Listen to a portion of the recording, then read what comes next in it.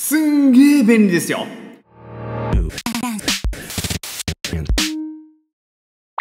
もう少しで暑い夏がやってきます。そんな夏でも快適に過ごせるものっていうのを今回ご紹介したいと思います。それはこちらです。ココリモです。はい、シンプルな名前なんですけれども、ココリもどういうものかっていうと、アプリを使って家のですね、エアコンを制御するというものでございます。例えば帰ってくる時間に合わせて部屋を涼しくしていたりとか、睡眠中の状態に合わせてコントロールしてもらう。それ以外にもですね、電気代がわかるとか、あとは Amazon デバイスを使えば声でもコントロールできるというものになっているわけですけれども、まあ、まだ使ってないんで、一体どういうものなのか、これから皆様と一緒に見ていきましょうレッツ高。はい、というわけでこちらがですね、ココリモでございます。開けていきましょう。さあ、出てこうよオープン、よいしょと。ほうほうほう。あ、なんかいろいろ入ってる。この度はココリモお買いいただき誠にありがとうございます。いいえ。ということで、スタートアップガイドですね。なんかいろいろ書いてあるけど、とりあえずこれ見ながらやればできるって感じなのかな。で、これが商品ですよ。日々の暮らしをもっと心地よくってことで開けていきましょう。さあ、オープン、よいしょ。あ、すごいシンプル。ココリモご利用案内っていうことで、なんかバーっといろいろ入ってていったのとマイクロ USB ケーブルが1本入ってました。でこれが商品になるみたいなんだけど後で見るとしてこれ以上ここには何も入ってないみたいなんだけどで僕いつもこういう風に新しいものが増えるたびに空き箱増えるの本当に嫌で今回もこの中に入れられるもんないか探したらありました。こちらはーい。パルメザンチーズ。これが間違いなくこの中にぴったり収まると思うんだけど。オッケー今回もぴったりだ。エアコン調整しながら食事の調整もできる。さすがここにもいろんなこと考えてくれてるなんて最高じゃねえかよ。さあ、まだ使ってないんで分かりませんよ。ということで、こちらが本体でございます。こう、パッと見た感じね、手肉みたいになってるけれども、こんな感じですよ。黒光ってますよ。テッカテカです。左側がリセット、そしてこっちが電源供給になってるのかな。で、多分ここが電源ランプという非常にシンプルな構造になってるわけです。とりあえずもう説明できるところは何もないんで、これからですね、つけて使っていきたいと思います。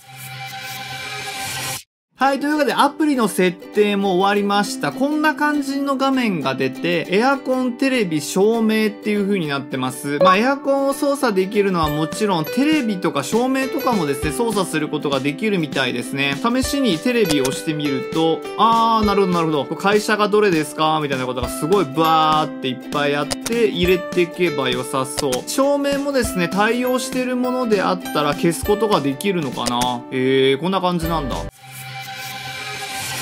はい。ということで、ココリもしばらく使ってみて分かったたことをまとめていっていきたいと思います。まずですね、すんげー便利ですよ。本当に予想以上に便利でしたね。最初の設定っていうのはですね、結構手間取るんですよ。Wi-Fi も自体にしなきゃいけないとかっていうね、最初のね、こう第一歩はね、ちょっとめんどくせえかなっていうところあるんだけれども、その設定が終わればですね、Wi-Fi どこでも大丈夫ですし、Amazon デバイスとつなげば口頭でいろんなことができるようになるので、それもめちゃくちゃ簡単です。エアコンももちろん操作することができますし、しテレビも操作することができます。照明も操作することができるんですけれども、いわゆるリモコン付きの照明ですよね。ピッて押すと電気が明るくなるとか暗くなるっていう、そういうものが搭載されていれば、ココリモで操作することができます。で、リモコンもですね、温度と湿度っていうものをですね、自動的にこう判別してくれるので、それに合わせて何度に設定しようかどうしようかっていうのも変えることができるっていうのも非常に便利。で、この料金比較っていうところがあって、そこでは2つの料金が出てきます。つけっぱなしにするといくら、オフからオンにするといくらっていうことで、例えばペットがいるとか、観葉植物があるとかですね、いろんな理由でですね、エアコンつけっぱなしにして出た場合には、自分が帰ってくるまでの間にいくらかかるのか、その時間に帰ってきてですよ、オフからオンに切り替える時に電気代はいくらかかるのかっていうことで、当たり前の話ですけど、オフからオンにした方が電気代は節約できる。まあ、電気代だけじゃなくって、環境にも配慮できますよね。ずっと室内のですね、熱気っていうものを外に排出するので、まあ、それだけでですね、外が暖かくなっちゃうとかっていう、まあ、理由にもなりますので、環境っていうものをですね、自分の中でですね、意識するっていうことにも一役買うかなっていうふうに思います。しかもですね、最近アプリにですね、アップデートが入って AI 機能も入りました。この AI 機能ってのはどういうのかっていうと、20分に1回ですね、自分のですね、好みの温度っていうのを調整して、自動に快適なものに合わせてくれると。よくさ、あるじゃないですか、もう暑しいなとか寒いなとかあっても、なんかもうエアコン操作するのはめんどくさいから、まあ、ちょっと我慢しよっかなみたいな時あると思うんですけれども、ここリモを使えばリモコンを取りに行くっていう手間がなくなるので、自動的にですね、あの、この人の温度ってこれが好きだよなっていうのを判断してくれるんですよ。それによってですね、好みの温度っていうのを学習してくれるので、非常に快適な温度で室内を維持してくれる。これ僕みたいに長野とかに住んでる人だと夏は涼しくていいんですけど、冬はめちゃくちゃ寒いとかね、そういう時にも、その部屋にいる人の温度に合わせてですね、調整してくれるので、非常に快適ですよね。例えば仕事とかですね、学校に行っていて、これから部屋に帰ろうっていう時に、部屋がムワッってすることあるじゃないですか。ああいうのも部屋の外にいながらですね、ピッと操作しておけば自分が帰ってくる頃には快適な温度に設定することもできる。一回アプリで設定してしまえば、これは非常に簡単にできるのでめちゃくちゃ快適です。他にもですね、快眠モードっていうのもあって、自分の習慣スケジュールに合わせて寝る時間と起きる時間のですね、エアコンを設定しておくわけですよ。で、そうすると、その時間を非常に快適に過ごすことができる。で、かつ、僕がよく使うのは、これでですね、もうわざとエアコンを止めるんですよ。そうすると、起きるしかないの。だって暑いんだもん。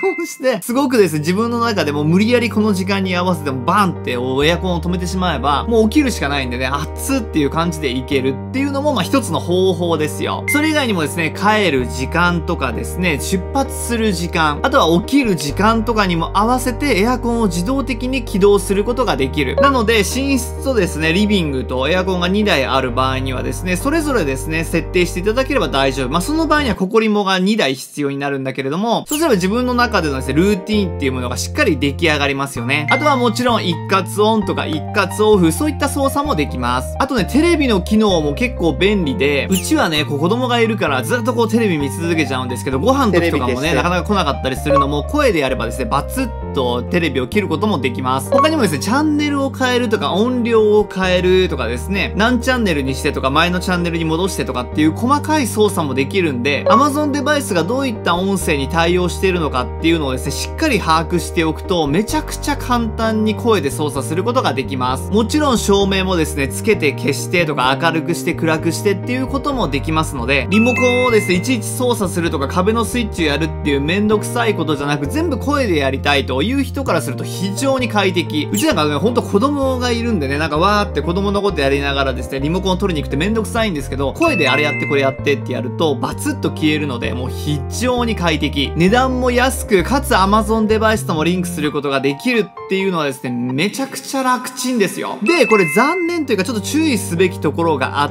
て、まずですね、設定がね、ちょっとややこしいんですよ。Wi-Fi のですね、帯域っていうものをしっかり選んで最初に設定することができる。まあ、最初の設定だけなんですけれども、そこでしっかりリンクさえしてしまえば、あとは非常に楽ちんです。それとね、アプリの評価が低いんですよ。調べていただくとわかるんですけど、2. 点いくつとか3を切っちゃってる状態なんですね。で、なんでかっていうと、一回炎上してるんです。最初に商品をリリースした時に、うまくですね、こう、機器と接続することができないっていうバグがあったみたいで、それによってユーザーからの低評価がわーっってなってしまっ、